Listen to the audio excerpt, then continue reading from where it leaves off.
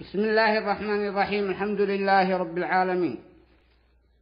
وصلى الله وسلم على سيدنا محمد وعلى آله الطيبين الطاهرين. تحريم إعانة الإمام الظالم. تحريم إعانة الإمام الظالم. ومنها أنه لا يجوز طاعة الإمام الظالم. أي إمام ظالم لا يجوز لنا إيش؟ أن نطيعه. أي حاكم أو رئيس أو إمام ظالم لا يجوز علينا إيش؟ طاعته. ولا نصرته ولا ننصره لا بالقول ولا بالعمل مفهوم؟ ولا تصح جمعته ولا جماعته ولا نصلي وراه ولا ندع على في الخطبة تمام؟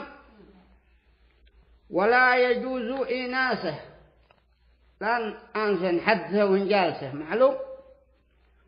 ولا إعانته ولا يجوز أن نعينه لا بالمال ولا بالنفس ولا بأي شيء.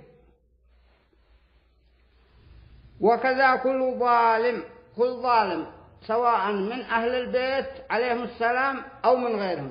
كل ظالم أو ملك أو رئيس ظالم لا يجوز لنا طاعته تمام؟ ولا نصرته ولا معاونته. إلا مع الخوف على النفس إلا إذا خفنت على نفسك فيجوز ما ليس فيه ضرر على المؤمنين كالصلاة ونحوها. إذا خفنت أن يقتلك افصل بعده عشان تسلم نفسك وقض الصلاة بعدين. معلوم؟ ولا يسقط بها الفرض. يعني إذا صليها أنت وراء الإمام الظالم لازم تعيد صلاتك مفهوم؟ والدليل على قوله تعالى وتعاونوا على البر والتقوى ولا تعاونوا على الإثم والعدوان قال نتعاون على البر والتقوى. ولا نتعاون على الإثم والعدوان. إذا هذا الإمام ظالم الملك هو الرئيس فلا يجوز لنا إيش معاونته. وقوله تعالى ولا تركنوا إلى الذين ظلموا فتمسكم النار.